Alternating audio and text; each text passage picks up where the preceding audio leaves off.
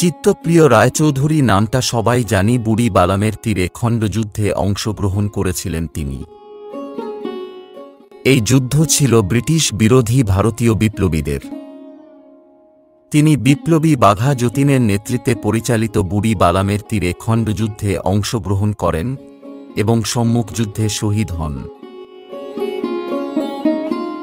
চিত্তপ্রিয় রায়চৌধুরী আঠারোশো চুরানব্বই সালের ছয়ই ডিসেম্বর মাদারীপুরের খালিয়া গ্রামে এক জমিদার পরিবারে জন্মগ্রহণ করেছিলেন। তার পিতার নাম ছিল পঞ্চানন রায়চৌধুরী ও মাতার নাম ছিল সুখদা সুন্দরী দেবী। তার পিতা পঞ্চানন রায়চৌধুরী ছিলেন মাদারীপুর শহরে অনারারি ম্যাজিস্ট্রেট। চিত্তপ্রিয় রায়চৌধুরী প্রথমে থালিয়া হাই স্কুলে পড়াশোনা করেন। পরে মাদারীপুর হাই স্কুলে ভর্তি হন। মাদারীপুর হাই স্কুলে থাকাকালীন উনিশশো দশ সালে মাদারীপুর সমিতির বিপ্লবী দলের সদস্য হন। চিত্তপ্রিয় রায়চৌধুরী মহান বিপ্লবী পূর্ণচন্দ্র দাসের সহকর্মী হিসেবে পূর্ণচন্দ্র পরিচালিত গুপ্ত বিপ্লবী সংগঠনের সদস্য ছিলেন। উনিশশো তেরো সালে ডিসেম্বর মাসে প্রথম ফরিদপুর ষড়যন্ত্র মামলায় আসামি হিসেবে চিহ্নিত করা হয় চিত্তপ্রিয় রায়চৌধুরীকে। তিনি গ্রেপ্তার হয়ে পাঁচ মাস জেলে বন্দী ছিলেন ও পরে তিনি জেল থেকে মুক্তি পান। চিত্তপ্রিয় রায়চৌধুরী জেল থেকে মুক্তি পাওয়ার পর আঠারোই ফেব্রুয়ারি উনিশশো পনেরো সালে কলকাতা বিশ্ববিদ্যালয়ের সমাবর্তন দিবসে রাস্তায় কর্তব্যরত পুলিশ ইন্সপেক্টর সুরেশ মুখার্জিকে কয়েকজন সহকর্মীর সাহায্যে হত্যা করেন। বিপ্লবী যতীন মুখার্জির সহকর্মী হিসেবে জার্মানি, জাপান, আমেরিকা ও ডাচ ইন্ডিজ থেকে অস্ত্রশস্ত্র আমদানির চেষ্টা করেন চিত্তপ্রিয় রায়চৌধুরী। উনিশশো পনেরো সালের সাতই সেপ্টেম্বর গভীর রাত্রে বাঘা যতীন নিজের সাময়িক আস্তানা মহলডিহাতে ফিরে এলেন। সঙ্গে ছিলেন চিত্তপ্রিয় রায়চৌধুরী, জ্যোতিষচন্দ্র পাল, মনোরঞ্জন সেনগুপ্ত এবং নীরেন্দ্রনাথ দাশগুপ্ত। চিত্তপ্রিয় রায়চৌধুরী, বাঘা যতীন ও বাকি সঙ্গীরা মিলে আটই সেপ্টেম্বর সারাদিন কেটে গেল তাদের গভীর জঙ্গলে।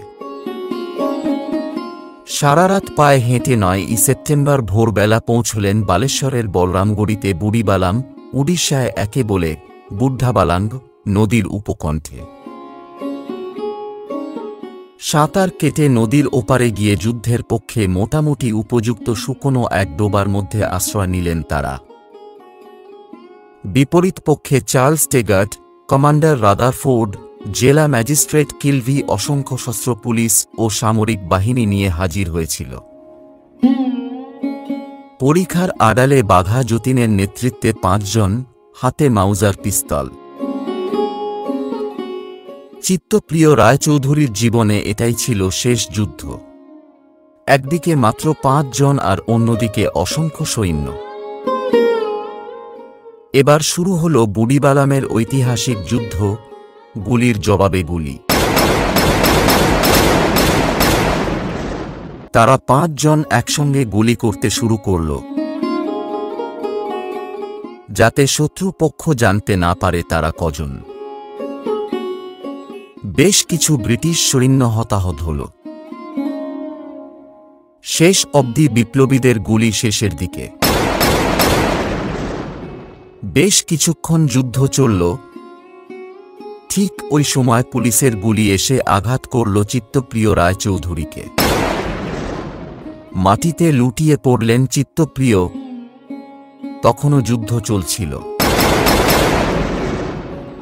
যন্ত্রণা কাতর কণ্ঠে তিনি বললেন, বড়দা, আমি চললাম। চিত্তপ্রিয় মৃত্যুপথ যাত্রী এক ফোঁটা জলের জন্য ছটফট করছিল। এদিকে বাঘা যতীনের গায়েও গুলি লেগেছিল। কিন্তু তাদের শেষ পর্যন্ত লড়াই করার কথা। চিত্তপ্রিয়কে জল খাওয়ানোর জন্য নিজের পরনে রক্তমাখা সাদা শার্ট উড়িয়ে বাঘা যতীন যুদ্ধবিরতির সংকেত দিলেন ও আত্মসমর্পণ করেন। ইংরেজ সাহেব কাছে এলেন। বাঘা যতীন দৃপ্ত কণ্ঠে বললেন শুধু এর মুখে এক ফোঁটা জল দেবার জন্য আমি যুদ্ধ বন্ধ করে ধরা দিচ্ছি। কিছুক্ষণ পরেই শেষ নিঃশ্বাস ত্যাগ করেন তরুণ কিশোর চিত্তপ্রিয়।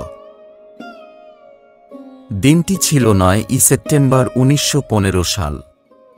চিত্তপ্রিয় বুড়িবালামের চাষখণ্ডে বীরের মতো যুদ্ধ করে শহীদ হয়েছিলেন। এই ছিল আমাদের স্বাধীনতা সংগ্রামের এক বীরের কাহিনী। যখনই দেখবেন ওই নীল আকাশে আমাদের জাতীয় পতাকা উঠছে, তখন মাথা উঁচু করে একবার সেলুট জানাবেন। কারণ সেই পতাকায় মিশে আছে লক্ষ স্বাধীনতা সংগ্রামীর রক্ত। বন্দে মাতরম। ধন্যবাদ। আজকের কাহিনী এখানেই শেষ। আমাদের বেঙ্গল রেডিও চ্যানেলটির অনুষ্ঠান যদি ভালো লাগে, অবশ্যই চ্যানেলটি সাবস্ক্রাইব করতে ভুলবেন না। ধন্যবাদ।